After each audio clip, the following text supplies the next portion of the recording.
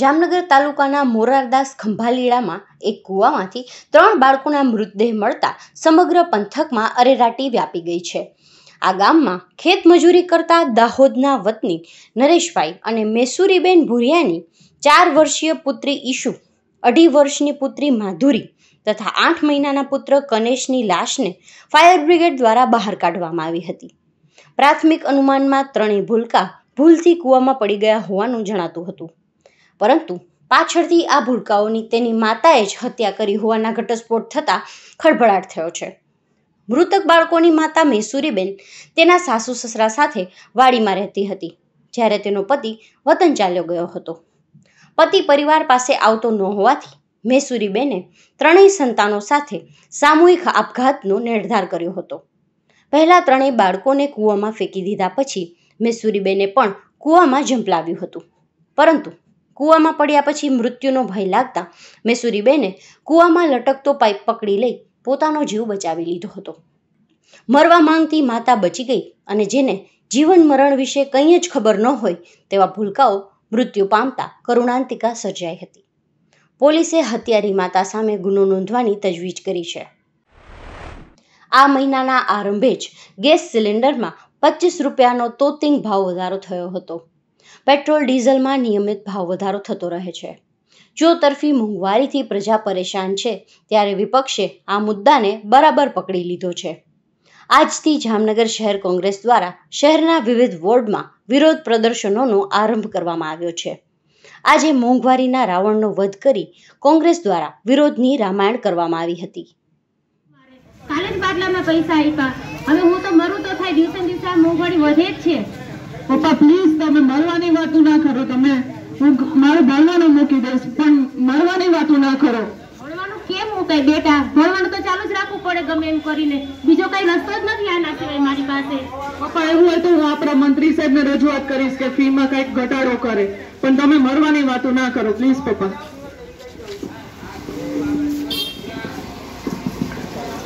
ભગવાન, અમે મંત્રી સાહેબને રજૂઆત કરવા ગયા હતા કે સ્કૂલની ફીમાં ઘટાડો કરો.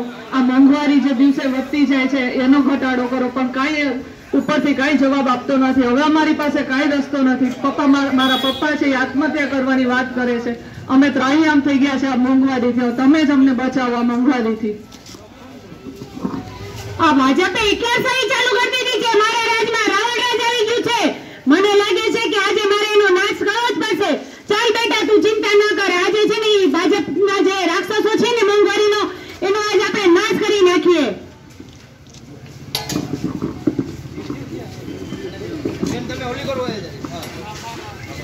એ રાક્ષસ ભાજપના રાક્ષસ રાવણ રાજ છે. હા હા હા હા. અમારી નોંધ નતું લેતું અત્યારે કેવી નોંધ લે છે અમારી? હા હા ચૂપ થઈ જા રાક્ષસ. આ મારું રાજ હતું ને મારું જ રહેશે. ભાજપનું રાવણ હું ક્યારેય નહીં થવા દઉં. ઊભો રહે તારો હમણાં વધ કરું છું.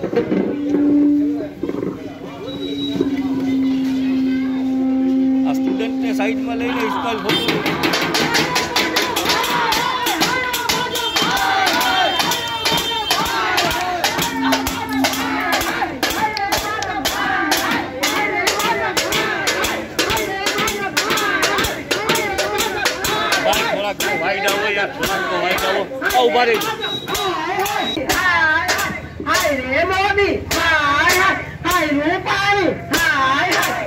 હાય રૂપાણી હાય હાય, સસ્તો મોંઘો, બધું મોંઘો. કાંઈ નહીં, બધું મોંઘો. શિક્ષણ મોંઘો. હાય હાય શિક્ષણ મોંઘો. હાય હાય. ગુજરાતનું પ્રથમ સાંધ્ય દૈનિક નોબત લાવ્યું છે વર્ષ બે હજાર એકવીસ બાવીસની આકર્ષક અને રીડર ફ્રેન્ડલી લવાજમ યોજના.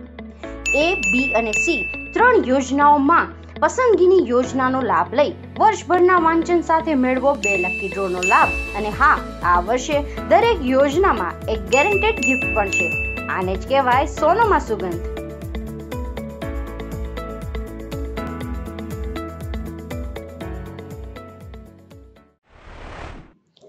રાષ્ટ્રીય સફાઈ કર્મચારી આયોગના સભ્ય અંજના પવાર આજે જામનગર આવ્યા હતા. તેમણે કલેક્ટર સૌરભ પારધી તથા કમિશનર વિજયકુમાર ખરાડી તેમજ એમપી શાહ મેડિકલ કોલેજના હોદ્દેદારો સાથે બેઠક કરી હતી તાજેતરમાં જીજી હોસ્પિટલમાં સફાઈ કર્મીઓ પર થયેલા હુમલાની તપાસ ઝડપી બનાવવા તથા સફાઈ કર્મચારીઓના પ્રશ્નો સત્વરે હલ કરવા પદાધિકારીઓને તાકીદ કરવામાં આવી છે विजिट तो अभी शुरू हुई है जामनगर की मीटिंग में कई सारी अ, समस्याएं सामने आ रही हैं और काफ़ी गंभीर समस्याएँ हैं। कर्मचारियों के हित के लिए हम लोग यहाँ पर कमीशन आया है। तो मैं सोचती हूँ कि इस हित में इसमें अधिकारी जो हैं वो लोग सभी सहयोग करेंगे। डीएम साहब वगैरह हमारा आ, सपोर्ट करेंगे। कर्मचारी और अधिकारी दोनों एक दूसरे के पूरक होते हैं। कर्मचारियों के लिए अ, जो हमारे माननीय प्रधानमंत्री जी हैं, वो वाल्मीकि समाज और सफ़ाई कर्मचारियों के बहुत ही लिए अच्छा सोचते हैं उनके लिए। और उन्हीं के आदेशानुसार आयोग हर जगह पूरे देश में काम करता है। तो मैं सोचती हूँ कि कर्मचारियों की जो समस्याएँ उनको जल्दी से जल्दी हम लोग निपटाएँगे। इनका जो हित हम सोचेंगे, तभी इस देश में ये जो अंतिम पंक्ति में जो समाज जो कर्मचारी बैठे हैं वो थोड़ा ऊपर तक आएँगे। जी। आज आपके सामने कौन कौन सी प्रकार की सामने देखिए कई सारी समस्याएँ हैं। डेली विजेज सबसे ज़्यादा जो कॉन्ट्रैक्ट बेस के जो कर्मचारी होते हैं सालों से वो कॉन्ट्रैक्ट में ही काम करते हैं। और कॉन्ट्रैक्ट में काम करते करते ही वो अपना अ, समय और सब कुछ बर्बाद हो जाता उनसे। तो जो कॉन्ट्रैक्ट वाले हैं अगर उनके लिए भी कुछ किया जाए तो मेरे हिसाब से ये अ, हमारी अच्छी सोच होगी। हम लोग कमीशन की तरफ़ से भी इसके लिए अ, लिख के भेजेंगे। ऊपर प्रधानमंत्री जी को भी अवगत कराएँगे कि कॉन्ट्रैक्ट वाले जो कर्मचारी हैं उनके हित में भी सोचा जाए उनको भी अ, कुछ परमानेंट कुछ जॉब मिले ऐसा हम कमीशन इस पे काम करेगा। जामनगर में खास करके क्या आज आप आए आयुक्त की ओर से क्या आयोग की ओर से तो यही समस्याएँ हैं जिनकी वही सोल्व हम करेंगे। अ, सीवर डेथ जो मामले होते हैं उन पे भी कमीशन काम करता है। उनको जो अ, मिलना चाहिए सुविधा उनको जो लाभ मिलना चाहिए उसको दिलाने के लिए भी पूरी कोशिश हम करेंगे। कई लोगों को दिए भी हैं और जिनको नहीं दिए हैं उनके लिए भी हमने कहा है। एक और है मृतक आश्रित। जो ऑन ड्यूटी कर्मचारी की डेथ होती है तो उनके आश्रितों को जल्दी से जल्दी नौकरी दी जाए। दूसरा अ, जब कर्मचारी रिटायर्ड होता है अपने जीवन की बहुत अ, साल कमीशन इसमें देता है तो उनका भी मान सम्मान से विदाई होनी चाहिए। कोई उच्च अधिकारी उसमें सम्मिलित हो उनको मान सम्मान से विदा करे क्योंकि वो आजीवन तो उसी में लगा रहता है। इतने साल अपने जीवन के वो वहाँ खर्च करता है और अगर उसे जाते टाइम अच्छा अनुभव होता है तो वो बहुत खुश होता है। ये भी कमीशन ने एक बात कही है यहाँ पर।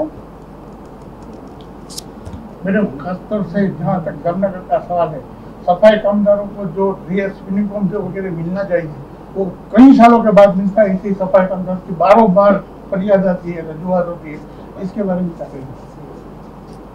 सफ़ाई कर्मचारियों को? यूनिफॉर्म देते हैं। यूनिफॉर्म तो आरोग्य के बारे में एक ज़्यादा से ज़्यादा लोग ये सफ़ाई कामदार है।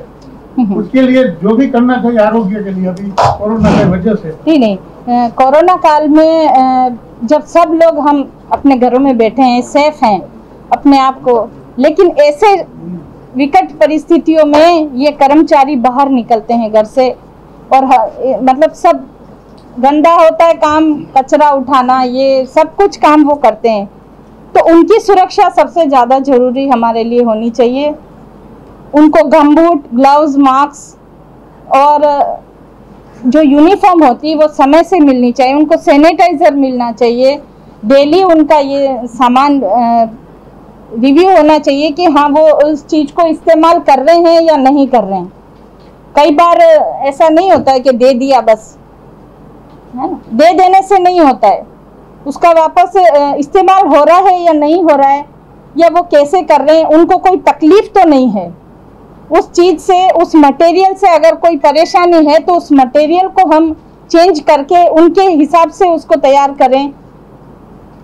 तभी हम इनको स्वस्थ रखेंगे तब हम सभी स्वस्थ रहेंगे। मैम सुप्रीम कोर्ट ने जो कॉन्ट्रैक्ट बेस्ड कर्मचारी है। नहीं कॉन्ट्रैक्ट बेस पे तो रखने नहीं चाहिए इसीलिए तो हम कह रहे हैं कि उनके लिए कुछ और हम करेंगे। उनको परमानेंट कुछ जॉब मिले।